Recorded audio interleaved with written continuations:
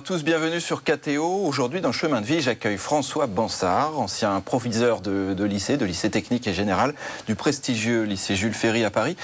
On reviendra en détail sur votre parcours, votre long parcours. Vous êtes né à, Alger, en Algérie. Euh, on reviendra sur votre chemin de foi. Vous êtes converti, mais avant cela, comme chaque semaine, je laisse la parole à Laure qui fait le petit portrait de notre invité. Laure, bonjour. Bonjour euh, Frédéric, bonjour euh, François. Alors on dit souvent j'ai foi en Dieu, et pour vous je dirais à la fois que vous avez foi en Dieu, en l'art et en l'écriture, car votre vie se résume autour de ces trois passions euh, qui font battre votre cœur. Alors votre foi en Dieu, mais on peut se poser la question en quel Dieu, car il faut savoir euh, que vous êtes un chrétien euh, converti. Mais reprenons votre vie dès le début. Vous êtes né en 1933 dans une famille juive d'Algérie. Vous êtes donc élevé dans un environnement de tradition juive. Et à l'adolescence, vous ne trouvez plus vraiment votre place en Algérie dû à la situation politique vous partez euh, direction euh, la France, qui va devenir donc euh, votre pays d'adoption. Pour servir votre pays d'accueil, vous devenez instituteur et après plusieurs années, vous entreprenez pardon, à 38 ans des études d'histoire à la Sorbonne qui vous font lire pour la première fois la Bible. Et c'est là que tout va basculer, que tout va s'enchaîner. Vous rencontrez Dieu. Vous dites d'ailleurs, j'ai lu, j'ai pleuré, j'ai cru. Voilà donc parti pour euh, huit longues années de préparation euh, avant la grâce. Votre baptême à la maison d'Anani, vous avez alors 39 euh, ans. Entre-temps, vous avez été euh, enseignant puis proviseur du lycée euh, Jules Ferry à Paris. Mais à 58 ans, euh, vous vous sentez appelé à vivre différemment. Vous abandonnez donc votre brillante carrière pour transmettre autre chose que le français, l'histoire, à savoir faire découvrir Jésus-Christ. Vous achetez alors une galerie d'art dans le 7e arrondissement à Paris pour évangéliser par l'art, votre deuxième passion.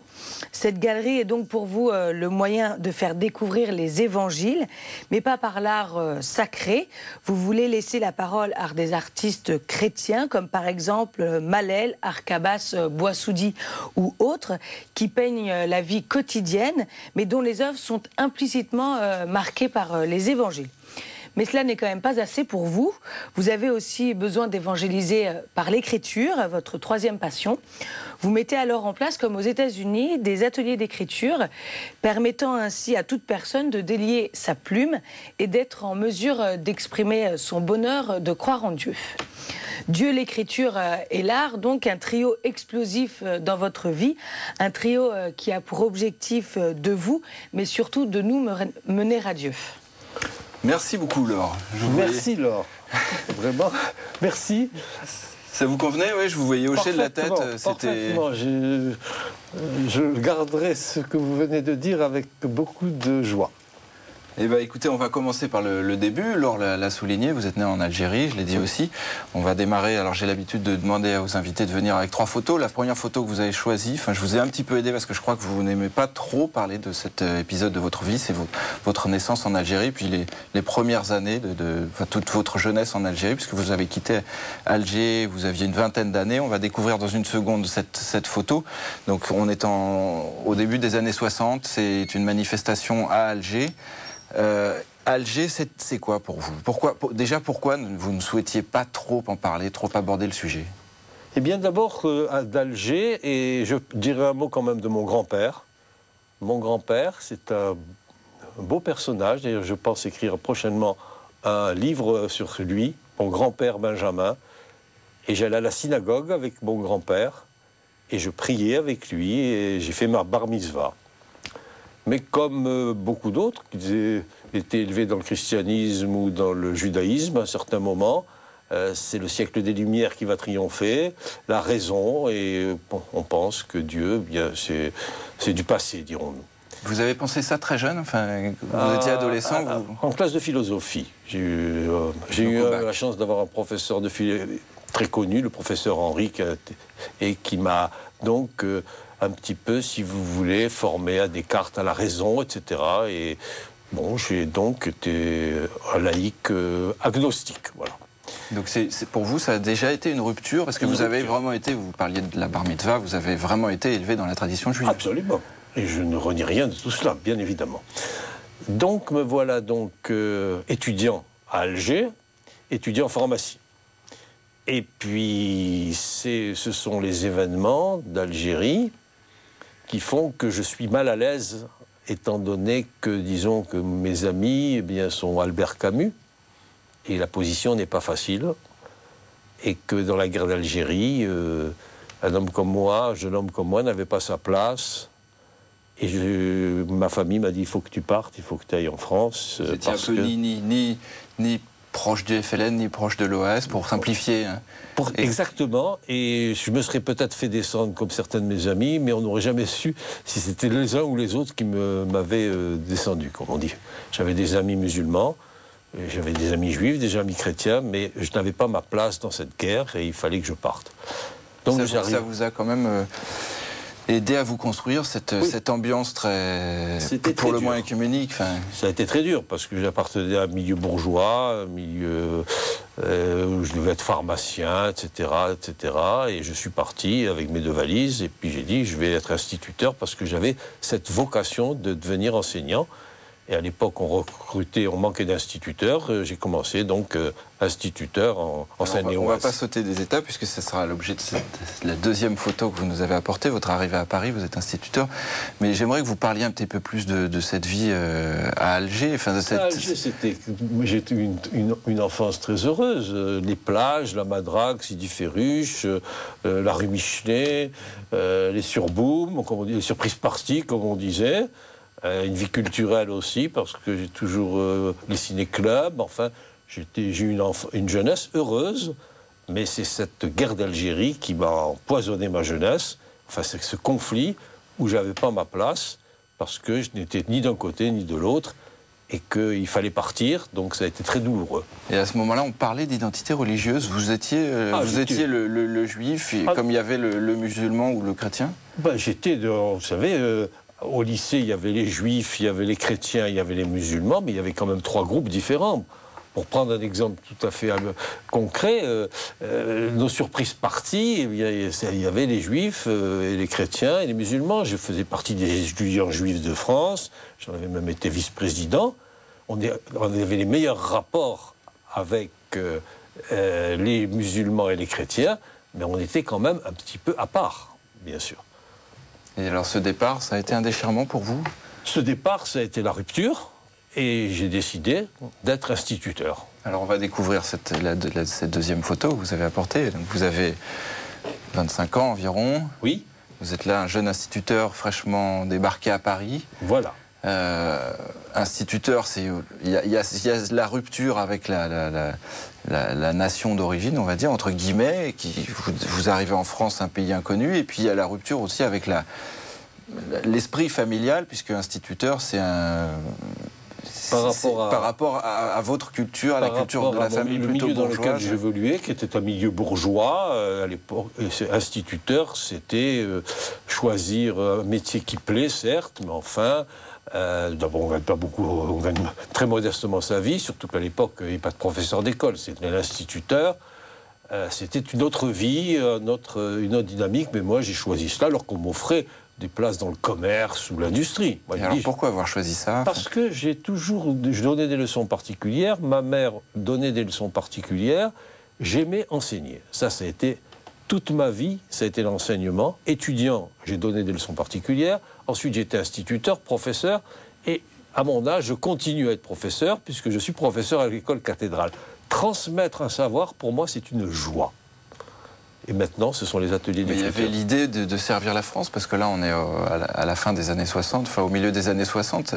Il y a encore l'image de l'instituteur, euh, euh, presque le, soldat de la République, euh, le hussard de la République. Je me définis toujours comme étant le, un hussard de la République. J'ai été vraiment instituteur à 100% syndiqué, faisant du, comment dirais-je, euh, faisant du camping dans les camps GCE, groupe campeur universitaire. J'étais vraiment l'instituteur euh, et je reste toujours ce hussard de la République.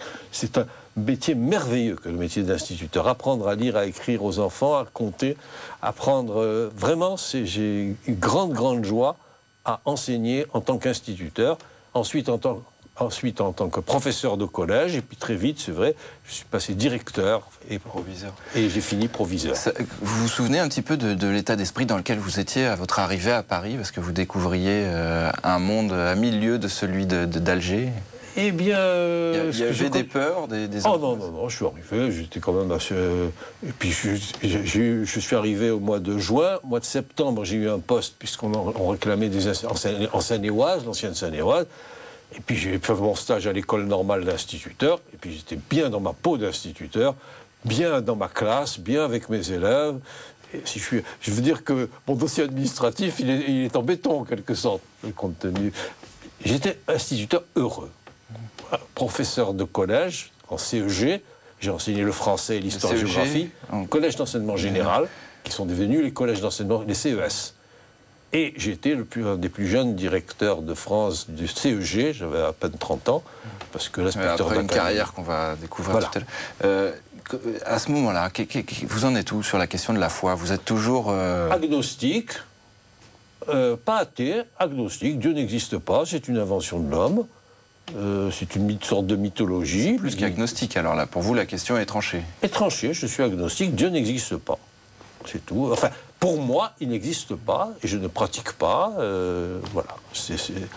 comme tous les instituts, comme beaucoup de, beaucoup d'instituteurs, je suis syndicat national des instituteurs, enfin, pas être plus, plus cadré, si vous voulez.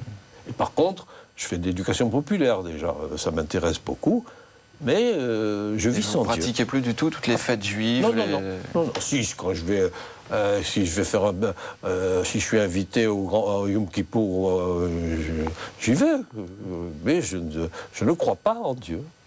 Alors qu'est-ce qui se passe qu'à un moment Alors vous alors vous reprenez des études, c'est une licence d'histoire. Je reprends des études d'histoire parce que directeur de CEG, les CEG sont transformés en CES, c'est-à-dire les collèges d'enseignement généraux sont transformés en collèges d'enseignement secondaire je suis directeur de CEG, je vous dis, un des plus jeunes de France. Et évidemment, dans les CES, on dit Bon, mais vous n'avez pas les diplômes, je passe sous-directeur du CES. C'est vrai que j'ai peut-être pas la mentalité d'un sous-directeur, j'aime bien être le chef. Alors, j'étais chef dans ma classe, instituteur, j'étais le, roi n'était pas mon cousin, si je peux me faire ainsi. Ben voilà donc sous-directeur du CES. Aussitôt, je m'inscris à la Sorbonne pour passer une licence, pour faire une licence d'histoire. C'était indispensable pour devenir principal. Et je m'inscris au cours de Henri René Marou, que certains connaissent. pourquoi? C'est parce que j'étais libre le mercredi après-midi. Et quel était le, sujet de ce certificat C'était euh, sur l'hellénisation du judaïsme, du christianisme, enfin on pensait du judaïsme au christianisme du 1er au 4e siècle. Ah bon? Il fallait dire l'emploi du temps, vraiment. Ah, oui, parce que j'étais libre le mercredi après-midi. Pour ma licence, j'étais à Paris 4. Il fallait que je, m'inscrive à ce cours. Puis je suis tombé sur l'immense professeur Henri, Henri René Marot, qui a écrit de très nombreux livres, etc. Je ne le présente pas. Et il a fallu que je lise l'Évangile.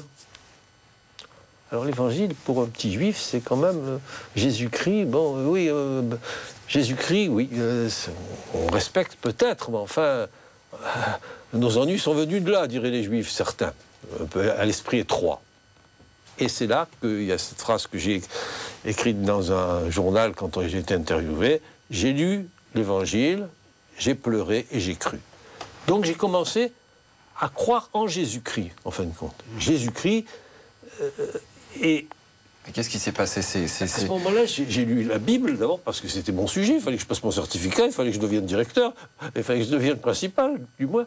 Et donc, euh, Jésus-Christ m'a ému jusqu'au fond de l'âme. Il m'a touché d'une façon certaine. Vous vous souvenez le passage qui vous a touché plus particulièrement? Les actes des apôtres, et puis toute sa vie, puisqu'il fallait que je lise tous les c'est-à-dire que sa mort et sa résurrection, essentiellement sa mort et sa résurrection, et puis tout ce qu'il a fait, tout, ce qu'il a porté aux hommes, et surtout l'amour. Parce que je pense que, après, bon, j'ai réfléchi à tout ça, le message essentiel, s'il y a un mot à retenir de l'évangile, c'est l'amour. L'amour qu'il a porté à tous, et cet amour qui a. Enfin, euh, je ne vais pas faire de la catéchèse, j'en ai fait après. Grâce à Dieu. Je fais beaucoup de catéchèses. Non, mais ce qui est étonnant, c'est que vous étiez à la fois juif, de culture plutôt laïcarde, entre guillemets, puisque. Jésus l'a dit. Vous, à ce moment-là, vous vous posiez des, questions de, sens aussi, aussi générales peuvent-elles être, de sens de la vie, de, de, de foi bah, Pas du tout. C'est vraiment le, hasard d'un emploi du temps qui fait que vous avez ouvert. C'était euh, très net. J'étais instituteur. Bon, je voulais devenir principal. J'étais laïque je croyais en toute enfin, la morale que, j'ai enseignée. Savez que j'étais instituteur. En tant qu'instituteur, j'écrivais sur le haut tableau tous les jours la phrase de morale en plein et en délié. J'ai enseigné la morale laïque. Euh, mais je me suis aperçu un jour que cette morale laïque, c'était les feuilles, mais il fallait quand même voir les racines. Alors j'ai réfléchi et je me suis posé la question de Dieu. Dieu existe-t-il? Alors j'ai lu, j'ai réfléchi, j'ai mis des années, ça n'a pas été tout seul. Et puis un jour, j'ai dit, je vais aller plus loin. Je voulais connaître, parce que c'était quand même Jésus que je voulais connaître. J'ai dit, je vais quand même essayer de connaître le christianisme. Et je suis allé à la maison d'Anani. Vous avez tout à l'heure cité la maison d'Anani. Un ami m'a dit, bah, écoute, voilà une maison qui reçoit des juifs qui sont intéressés par le christianisme. Alors pour bien, pour bien comprendre la chronologie, ça c'est après cette, cet éveil à la lecture de l'Évangile. Après cette, cette lecture et cette rencontre avec Jésus-Christ, après cette lecture euh, de la Bible, je me suis dit, quand même, le christianisme, il faut que je sache que c'est. Et puis cette certitude interne que Dieu existait. Alors, je vais pas ça a bouleversé votre vie là ou concrètement rien n'a ah bah, vraiment changé? J'ai vécu autrement, si vous voulez. Je me posais constamment, je vivais constamment. D'abord toute l'année, il a fallu que je continue mes devoirs, il a fallu que je lise les actes des apôtres, il a fallu que etc. Donc j'avais un certain nombre de devoirs d'histoire. Euh, j'écoutais les cours d'Henri René Marou, qui n'était pas là pour évangéliser, mais pour parler quand même de ça. Comment, si vous voulez, je ne vais pas rentrer dans les mhm. détails de toute cette année d'études qui m'a complètement bouleversé. Et à la fin, je me suis dit, bon, bah, c'est ça. Il faut aller plus loin. Donc c'est la maison d'Anani, et puis qui vous conduira à 39 ans à, à, ce, baptême Au baptême, c'est-à-dire, je, suis allé en Israël, j'ai fait un voyage, un pèlerinage, j'ai même visité la... Euh, parce qu'à ce moment-là, je croyais fermement Dieu. Alors après, je me suis posé la question, Jésus est-il le Fils de Dieu? Alors j'ai réfléchi, réfléchi, j'ai et je suis allé à Jérusalem, je suis allé à la grande synagogue pour voir un peu si ça allait remuer un passé, voir le, puisque je croyais en Dieu. Et puis là encore, euh, au cours de ce pèlerinage, euh, j'ai rencontré Jésus en quelque sorte, dans le cadre, sur le lac, tout ce que j'avais appris, le lac de Tibériade. Je, me suis, j'ai vraiment vécu concrètement euh, l'évangile. Et quand je suis rentré de ce pèlerinage, c'était Monseigneur de, euh, le père Devec qui m'avait conseillé d'aller faire un voyage. Il me dit écoutez, et puis je suis allé un jour euh, dans un monastère. Un monastère. Parce qu'en fait, tout ça prend du temps. ah, des années. Peut-être qu'il faudrait que je dise un petit peu dans ce monastère de bénédictins où justement je m'interrogeais si j'allais vraiment demander le baptême. Qu'est-ce qui vous retenait? C'était peut-être les, attaches familiales, parce que j'imagine que pour vous, ça doit être difficile aussi de, de, juif devenir chrétien. C'est une nouvelle rupture par avec rapport à ma famille, par rapport à ma mère, par rapport à mon milieu. C'est pas facile. C'est un, itinéraire difficile de passer du judaïsme au christianisme. C'est ça qui vous retenait aussi enfin... Bien évidemment. Il fallait quand même. Euh, faire le passage, euh, c'était dur quand même. Il fallait vraiment. J'avais passé. Le, père de Vec m'a dit allez dans un monastère, passer une semaine. Je suis allé donc dans un monastère bénédictin. J'ai découvert un monde extraordinaire pour quelqu'un qui. Le silence, la prière, ces moines qui vivaient. J'ai rencontré le, père Lacan, le frère du professeur Lacan. J'ai discuté tous les jours, il venait discuter un petit peu parce que je, le souhaitais. Et puis je me suis dit, alors cette phrase que j'avais citée dans un de mes articles, où les moines sont fous, où Dieu existe. J'en ai conclu que Dieu existait vraiment. Et depuis, je vais souvent dans les monastères, j'y passe des moments vraiment merveilleux.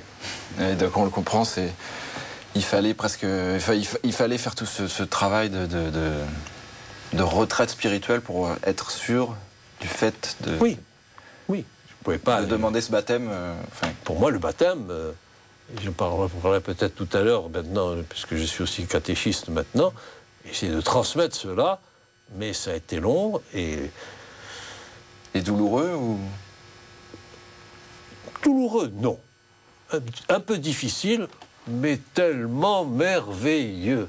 Tellement merveilleux, parce que quand on est habité par Jésus, par Marie, eh bien, on est, on est toujours heureux, presque. Ça, c'est merveilleux. C'est ce bonheur que je- j'essaie de transmettre. Alors on va découvrir la, la- la dernière photo que vous avez apportée. Il s'agit de...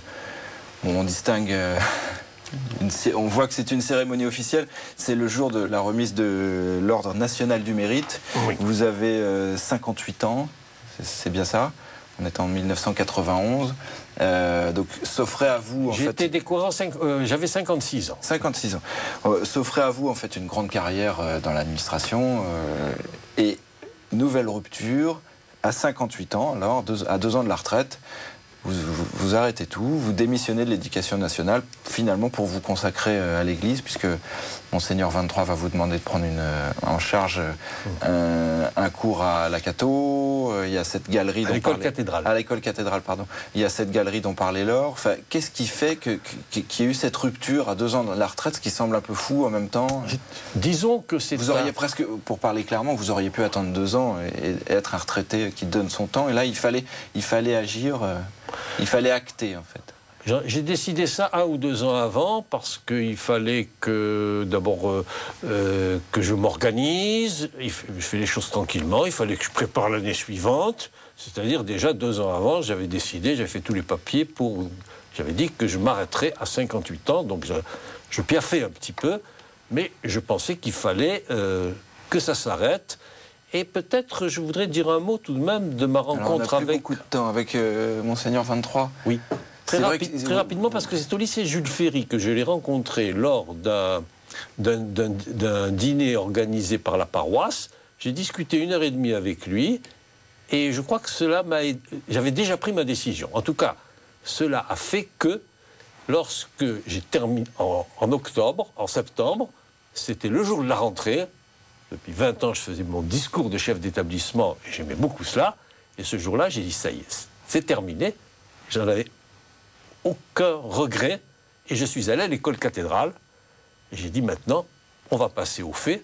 J'ai demandé un rendez-vous à Monseigneur 23. Je ne savais même pas où était l'archevêché. Il m'a reçu parce qu'on avait eu cette, cette en- Conversation. discussion Donc, très vous, êtes, importante. vous êtes devenu un professeur bénévole à, l'école cathédrale. Après, une, une Euh, longue mais formation. là, il y avait, il y avait vraiment cette volonté. La euh, volonté de servir l'Église, si je lui dis à Monseigneur 23, voilà, je suis disponible euh, et je lui ai raconté ce que je et je veux être au service de l'Église. Et Monseigneur 23 m'a envoyé, euh, m'a proposé de faire deux années de formation des, formation des responsables à l'école cathédrale. J'ai été donc formé pendant deux ans, une excellente formation justement pour former les cadres en quelque sorte laïcs qui vont aller ensuite être journalistes ou, ou beaucoup de, euh, personnes qui travaillent à KTO, je suppose, ont fait de la formation des responsables, euh, ensuite... et Et quand- c'est- c'était important pour vous, là vous dites euh, servir l'Église, mais il y, a- il y a cette volonté de, de- de- d'enseigner. c'est important pour vous l'évangélisation, Pour moi, dès le début, j'ai dit comment je vais pouvoir transmettre. Jésus m'a fait ce- cet immense bonheur de euh, se révéler à moi, et ce bonheur, je veux le euh, proposer aux autres parce que, euh, je le dis très nettement, on est tellement plus heureux quand on croit, quand on va à la messe, quand on peu à peu on intériorise euh, toute cette histoire. J'ai dit, il faut que je transmette cela, je ne peux pas garder ce trésor. Peut-être juste pour conclure, euh, pour vous, il, est un- il était impossible de rester euh, caché, un chrétien caché qui Ah. vit sa foi. Vous êtes oblate chez, chez les bénédictins. C'est une autre dimension de, de- de votre euh, parcours spirituel. C'était impossible de rester un, un chrétien caché. Ah oui. Ah oui, ben écoutez, euh, euh, quand on lit l'Évangile, il est bien clair qu'il faut aller porter ce qu'on sait. On est- je suis devenu un ouvrier de, Dieu, et il fallait que je le fasse avec mes compétences, avec intelligence, et donc euh, guidé par Monseigneur 23 et mon directeur spirituel, ça a été Monseigneur Guyard qui m'a suivi pendant dix ans. puisqu'il me suivait personnellement. Quand on fait la formation des responsables, il faut avoir un directeur spirituel. Bon, je ne rentre pas dans les détails. Bien encadré par euh, eux, euh, j'ai donc dit, euh, je me suis mis au service de l'archevêché. Et de l'Église. Et de l'Église, bien évidemment. Bah, écoutez, François Bansard, merci beaucoup pour ce beau témoignage. Euh, et puis, bah, écoutez, longue, longue vie à vos activités. Je vais donner le titre de votre. Euh, le, site internet de votre euh, galerie. C'est www.a egb.net. On peut retrouver la, liste des expositions en préparation, les artistes que vous avez déjà exposés. Merci à vous d'être venu ici. Quant à nous, on se retrouve la semaine prochaine avec un nouvel invité. Bonne semaine à tous sur KTO et à très bientôt.